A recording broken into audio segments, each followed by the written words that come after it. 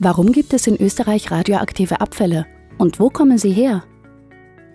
1978 haben sich die Österreicherinnen und Österreicher gegen die Inbetriebnahme des bereits fertiggestellten Kernkraftwerks Zwentendorf entschieden.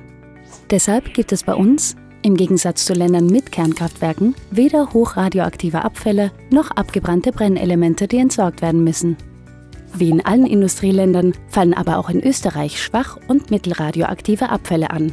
Diese entstehen bei vielen nützlichen Anwendungen in Medizin, Industrie und Forschung.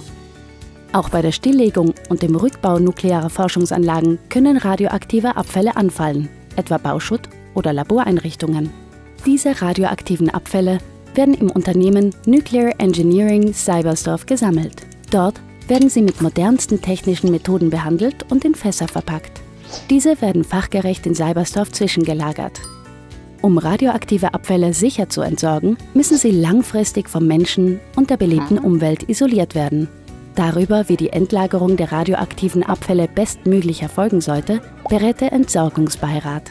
Dieses Gremium ist mit Vertreterinnen und Vertretern aus der Wissenschaft, von NGOs, der hm. Zivilgesellschaft sowie von Bund und Ländern besetzt.